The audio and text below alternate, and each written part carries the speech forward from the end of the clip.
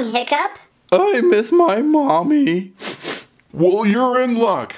Hiccup, here comes your mom.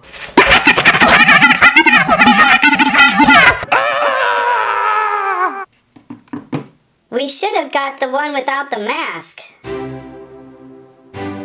Going backwards, here is the DreamWorks Dragons, Dragon Riders, Valka, and Cloud Jumper in their package as they would appear on store shelves in Canada. I have yet to ever see these in the States. I believe most of the Walmarts are clearancing most of their Dragons toys out, and this being an exclusive to Walmart, I don't think we're ever going to see. You can pick it up on eBay for around 40 to $50, and there is a variant on the Crazy Valka mask. As always, open box design gives you a chance to steal Cloud Jumper if you wish, with a Valka blistered away in plastic. The box is a little bit taller than your standard Dragon's box, maybe twice as tall, but the toy isn't as large as I thought it was going to be. Seeing it on the eBay screen, I kind of thought it was going to be bigger, but turns out to be not that much bigger, but kind of bigger, so we'll see. On the back of the box, we have a terrific, fun, family-filled grouping of Valka and Cloud Jumper flying about with Toothless, Hookfang, and Stormfly flying in the background. Fly into battle, Vikings can ride any dragon. Since this is the crazy masked version of Valka as she is pictured, I wonder if the version with her unmasked has her unmasked on the back. I don't know, I don't think we'll ever know. Oh, and there's no other dragons available. Out of the package we have Valka and Cloud Jumper. Let's take a look at Cloud Jumper first as that's the main attraction. Uh, we have a somewhat larger Dragon Rider's dragon in Cloud Jumper, maybe about almost two times the size of most of the others, maybe just a little less. Uh, we've got four wings on Cloudy here. Let's test them out. Kind of cool. I like how they've done this version a little better than the other Cloud Jumper from the Power Dragon series.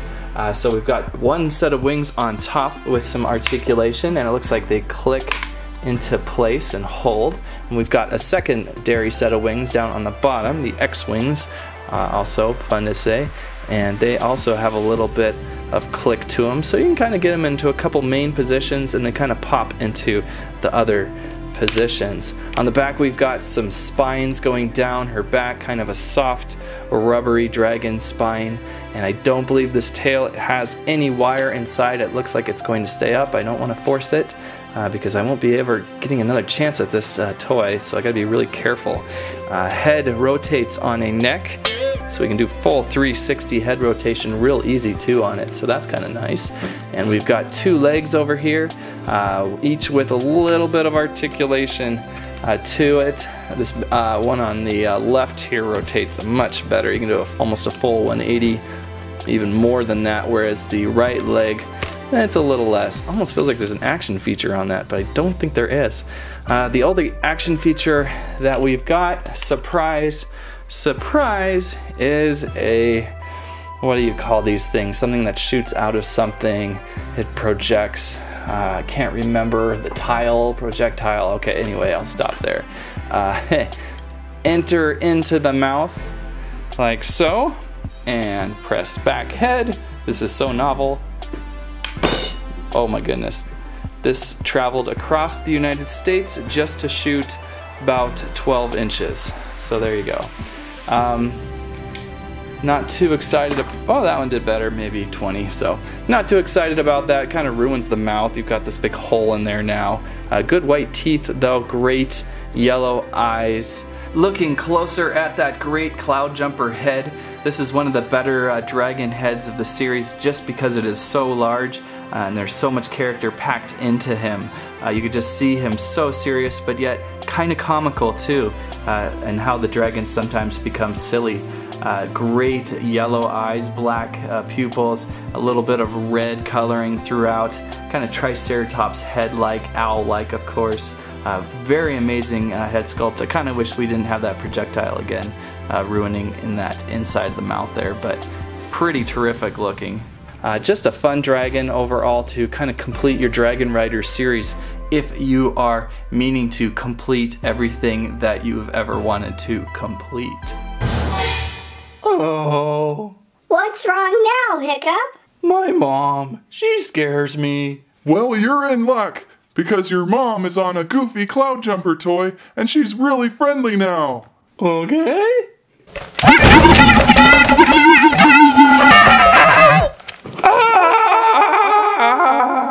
Well, that didn't work either. Taking a quick look at the Valka minifigure, uh, there's two styles again to choose from. There's one with the crazy tribal kabuki mask on her, and I prefer it just because it's a little more battle, a little, little more toy uh, friendly, just a lot of excitement. I don't really care for her face anyway. She always looked like she got hit with a frying pan or something in battle. Uh, so this one is way preferred, and I believe this one is the cheaper route too. I think the uh, actual uh, open face mask is a little more expensive, harder to find in Canada. So there you go. She has a cape, and we have uh, arms that rotate. Get that weapon here, pretty cool staff weapon. She twirls around. Twirl, twirl, twirl. Um, there's no outward movement on these, just uh, 380 or whatever. And let's see, some of these hips rotate. Uh, her waist rotation is limited on this one. Head rotation, and it's kind of stopped by these horns coming out of her jawline. So pretty cool minifigure nonetheless. I like how she looks ready for battle, and I think is a worthy addition to the toy. Getting her to ride Cloud Jumper might be a little trickier than some of the other dragon riders. Most use their just squishy plastic legs to hug the dragon. Uh, this one has a rider's post, and it looks kind of uh, kind of weak. I'm not sure yet. We'll test her out again. And you're gonna place her right there. Do you see it? It's right there. It's kind of hidden with all these uh, back spines. And you're gonna just place her on that. And yeah, it's no, it's so-so. It could be a little better. She does stand. Uh, we do a fly over here, and um, okay, well, she will fall off with intense turbulence. I'll tell you that. Uh, but if you hold on, oh wait a second, I see another riding pig. I am wrong here for the first time in the history of this uh, review cycle. We've got another riding pig in between these two uh, spines. So put one leg in that one, and this is way more substantial. Let's get her in there. And the other one. So now she's, you know, doing her Valka side saddle like when she flies by Toothless and she's all like, hey, check me out, woo, hoo, hoo. Um, so now she's probably way more secure. You can do way more turbulence and she looks better too, just kind of on that sideways uh, look. So that's how you ride uh, Cloud Jumper. A quick comparison with Cloud Jumper here and the Cloud Jumper Action Dragon. Uh, kind of two different styles, one standing and just enormous, the other one kind of in their Death Star attack run type of thing going on. This one being a lot more purpley, mahogany reddish color, this one being a little more tan. Uh, which one is more correct? I think this coloring no wait maybe this coloring i don't know. Pick your favorite uh, color. Uh, this one definitely more a little more detailed and proportional to the cloud jumper but on the other hand there's a lot of standing scenes of cloud jumper in the movie and this one kind of feels pretty good. This one actually almost might work with your other action dragons as a superior cloud jumper and this one for your attacking and a quick scale comparison with some of the other Dragon Riders available. Again, you can see she's about twice the size of your normal Dragon Rider figure here with uh, Stormfly and Astrid and uh, Toothless and...